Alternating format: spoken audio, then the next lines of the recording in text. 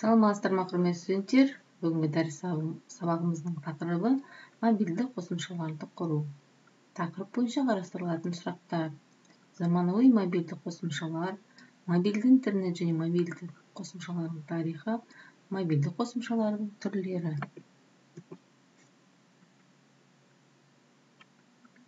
Соңғы онжылдықта әлем жаңа үлгідегі экономикаға тез жылжып келеді. Онда оны қалыптастырудың негізгі құралы цифрлық технологиялар болып табылады. Біздің экономикамыздың бәсекеге қабілеттілігін сақтаудың кілті мемлекет пен бизнестің оның ішінде келесі салаларда индустриялық көлік логистикалық инфрақұрылымы ауыл шаруашылығы жер қойнауын пайдалану энергетика білім беру және денсаулық сақтау бірлескен күш жігер мен сандық құрамдас бөлікті дамыту болып табылады. Қазіргі заманғы цифрлық технологиялар тез алға жылжығаны соншалық бұрын дыбысты қашықтықта беруге арналған құрылғы ғана болған. Бүгінгі күні байланыс құралдарынан басқа әмиян кілт журнал фотоаппарат видеоплейлер және тағы басқа ретінде пайдаланылады. Бүгін біз барлық адамдардың қол жетімділігі бар үлкен ақпараттық кеңістікте өмір сүреміз. Оның мүмкіндіктерін біз басқа адамдармен қарым қатынас жасау үшін пайдаланамыз. Әлемде болып жатқан оқиғалар туралы білеміз. Өз сұрақтарымызға жауап іздейміз. Мобильді технологиялар заманауи өмірге берік кірді. Көптеген адамдарда әркім өз қалауы бойынша таңдай алатын мобильді қосымшаларды орнату функциясымен жабдықталған ұялы телефондар бар. Бұл ретте әртүрлі ә, санаттағы қосымшалардың үлкен таңдауы ұсынылған. Бұл қосымшалардың есебі мыңдаған адамға барады және осы қосымшалардың көптегенінен қажетті пайдалы қызықты сұрақ ашық болып саналады. Ұялы интернеттің тарихы мың сегіз жүз сексен сегізінші жылы басталды. Генри герц электромагнитті радиотолқындарды жасау және табу әдісін ашқан кезде бастау алды. Мың да сегіз жүз тоқсан бесінші жылы орыс ғалымы попов электр сигналдарын сымсыз тарату үшін электромагниттік толқындарды пайдалануға арналған баяндама жасады. мың да сегіз жүз тоқсан алтыншы жылдың наурыз айында ол эксперимент өткізді. Сонда екі жүз елу метрге екі сөзден тұратын генри герц радиограмма берді. Бірнеше жылдан кейін ғалым басшылығымен кронштадтта қабылдаушы және таратушы аппаратураны шығаруға жол, жолға қойылды. Жаңа өнертабысқа поповтың сызбасын сәл күрделене отырып англияда осындай құрылғыны патенттеген кәсіпкер итальяндық маркони қызығушылық танытты. Кейіннен англиядағы әскери қажеттіліктер үшін маркони компаниясы ұйымдастырылды. Сымсыз байланыс тарихы мың тоғыз жүз бірінші жылы маркони ағылшын компаниясы сигналдарды англиядағы олдю станциясынан ньюфаундлендтағы сент джон станциясына беруге қол жеткізгенде басталады. Компанияның өзі жиырмасыншы ғасырдың басында сымдық халықаралық қалааралық халықаралық байланысты жүзеге асырған жалғыз болды. Операциялық жүйенің болуы смартфонды әдеттегі ұялы телефоннан ажырататын басты ерекшелігінің бірі. Белгілі бір ұялы телефон үлгісін немесе құрылғыны таңдаған операциялық жүйе жүйе айқындаушы фактор болып табылады. Смартфондар мен платформалар үшін ең кең таралған операциялық жүйелер бұл симбион екі мыңыншы жылдың соңына дейін смартфондар нарығының басым бөлігін иеленді blackberry жүйесі ең алдымен ақш елдерінде кең қолданылды. Бірақ кіріс пен шығыс деректері ios шифрлау алгоритмі арқылы шифрланған болғандықтан кейбір елдердің барлық қызметтері смартфондарды қолдануға мүдделі емес. Windows mobile windows CE microsoft корпорациясының шағын операциялық жүйесі мың тоғыз жүз тоқсаныншы жылдан бастап шығарылып екі мыңыншы дейін смартфондарға арналған операциялық жүйе нарығының ең үлкен сегментін иемденді. Microsoft компаниясының әзірлеген windows phone жеті windows мобилі мүлдем басқаша плам операциялық жүйесі танымал платформалардың бірі болып табылады бірақ плам негізінен мобильді телефондарда сирек кездеседі.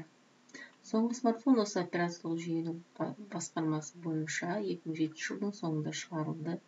Linux бұл операциялық жүйе мобильді құрылғыларда кең таралмады дегенмен оның дамуы дәстүрлі перспективалық бағыт болып саналады. Linux негізінде смартфондар негізінен азия елдерінен кең тараған. Бада samsung компаниясы әзірлеген ең жаңа мобильді платформасы жаңа платформада алғашқы смартфон s сегіз мың бес жүз болды. Android бұл linux ядросына негізделген смартфондарға планшеттік компьютерлерге электронды кітаптарға сандық ойыншыларға сағаттарға және нетбукке арналған портативті операциялық жүйе android сіз негізге құрылғыны google арқылы әзірленген кітапханалар арқылы басқаратын javaға негізделген бағдарламаларды жасауға мүмкіндік береді. Android native development kit жүйесі жүйеге және басқа тілдерде жазылған кітапханаларды және бағдарлама компоненттерін пайдалануға мүмкіндік береді. ios американдық apple компаниясы әзірлеген мобильді операциялық ол екі мың жетінші жылы шығарылды. Бастапқы iphone және ipod touch үшін кейінірек ipad және apple tv сияқты құрылғылар үшін болды windows iphone және google androidта айырмашылық тек apple шығарған құрылғылар үшін қолжетімді өте қымбатырақ енді нативті қосымшаларға келетін болсақ бұл қосымшалардың ең көп таралған түрі олар android windows phone және ios сияқты операциялық жүйелер үшін бағдарламалық тілдер негізінде құрылады осы қолданбалардың арқасында gps бейнекамералар немесе жылдамдату датчиктері функционалын толық пайдалануға болады. Нативті қосымшалардың басты артықшылығы интернетке қосылу қажеттілігінсіз автономды жұмыс істеу мүмкіндігі болып табылады мұндай түрдегі қосымшалар play market app store және басқа қосымшалар дүкендері арқылы таратылады сондай ақ түрлі электрондық платформалар нативті қосымшалар бола алады веб қосымшалар мен сайттың мобильді нұсқасы қосымшалардың бұл түрі мобильді құрылғыда жұмыс істеу үшін веб технологиясын пайдаланады. Мұндай қосымшалардың басты және сөзсіз артықшылығы платформалардың барлық беттеріне бірыңғай құру мүмкіндігі болып табылады. Сондай ақ сайттың мобильді нұсқасы салмақты артықшылығы бар қорғас платформа. Алайда мұндай қолданбалар смартфондағы камера немесе геолокация функциясын пайдалануға мүмкіндік бермейтінін сондай ақ оларды қолданбалар дүкеннен жүктеу мүмкін емес деп атап өткен жөн. Гибридті қосымшалар андроидта бағдарламалау гибридті қосымшаларсыз жұмыс істей алмайды. Олар біріктірілген нативті және веб қосымшалар.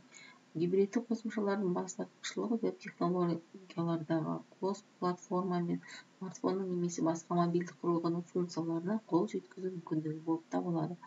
ios гибридті типті қосымшаларды әзірлеу басқа түрдегі қосымшаларды әзірлеуден әлдеқайда қымбат. Көптеген танымал әлеуметтік желілер онлайн дүкеннен тегін жүктеуге болатын гибридті қолданбаларға ие. Мобильді қосымшалардың санаттарына келесілер жатады. Бағдарламалар оқиғалар қызмет бағдарламалары ойын сауық қосымшалары интернет дүкендер бизнес қосымшалар контенттік қолданбалар қарым қатынас қосымшалары жүйелік қосымшалар және тағы басқа. Мобильді қосымшалар рейтингі екі мың он алтыншы жылдың алтыншы наурызында google компаниясы барлық ұялы дүкендерін біріктірген google playдің іске қосылғанын жариялады бірнеше жыл өтті және осы уақыт ішінде play жүктеген жүктеу саны қатты өсті. Google playде көптеген пайдалы және пайдасыз қосымшаларды табуға болады. Дүкенде ақылы және тегін бағдарламалар бар. Қазір play android үшін үш миллион қолданба бар. Жүзде қырық бестен астам елдің пайдаланушылары қосымшаны сатып ала алады. Аналитикалық компаниясы google play жұмыс істеген барлық уақыт ішінде деректерді зерделеп қандай қосымшалар ең кең танымал болғанын анықтады мәселен google жұмыс істеген уақытта ең көп жүктеу келесі қосымшалардан болды. Facebook whatsapp facebook messenger instagram cleanmaster skype line viber twitter. Назарларыңызға рахмет. Сонымен бүгінгі дәріс аяқталды